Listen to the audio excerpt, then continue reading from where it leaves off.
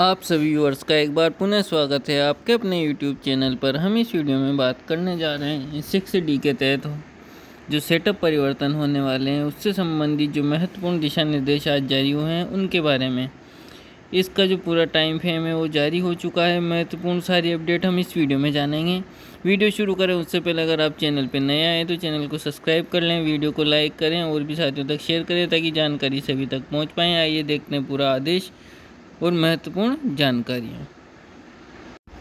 जैसा कि आप स्क्रीन पर देख पा रहे होंगे, कार्यालय निदेशक माध्यमिक शिक्षा राजस्थान बीकानेर का ये चौबीस छः दो हज़ार बाईस का ऑर्डर है। इसमें आप देखेंगे राजस्थान शिक्षा राज्य एवं अधीनस्थ सेवा नियम 2021 के तहत जो नियम छः है, उसके अंतर्गत सेटअप परिवर्तन के क्रम में ये लेटर जारी हुआ इसमें राजस्थान शिक्षा सेवा नियम 2021 के जो सिक्स थ्री के अनुसार जो अधीनस्थ सेवा पद की समूह का शिक्षक जो हैं, उनसे संबंधित जानकारी। इसमें आप देखेंगे कि आप नीचे जब आएँगे तो इसमें पूरा कार्रवाई दी हुई है कि वांछित रिक्तियों की गणना कर जो जिला शिक्षा अधिकारी है, प्रारंभिक शिक्षा उसको प्रेक्षित करना है जो कि पूरी वेबसाइट पर अपलोड करेंगे, उसकी तारीख आप देखेंगे। अट्ठाईस छः दो इन्होंने लास्ट डेट दी हुई है तो अट्ठाईस छः दो तक ये कार्य कंप्लीट करना है। साथ ही उसके बाद आप देखेंगे कि सिक्स थ्री चयनित जो कार्मिक है, उनके सेटअप परिवर्तन होना है। उनकी सूचियाँ जिला शिक्षा अधिकारी, मुख्यालय, माध्यमिक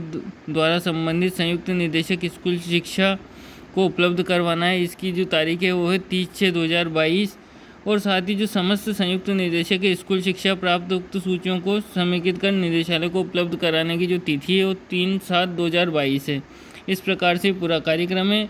इसमें आप देखेंगे कि उक्त सूचना जो है एल वन और एल टू विषयवार अलग अलग निम्नलिखित जो प्रपत्र है, इसमें प्रेक्षित करनी है और आप देखेंगे इसमें किन किन को छूट है तो इसमें आप देख पाएँगे कि जो निर्देशित किया जाता है कि उक्त प्रक्रिया में ये ध्यान रखा जाए कि कोई भी विद्यालय अध्यापक विहीन ना हो।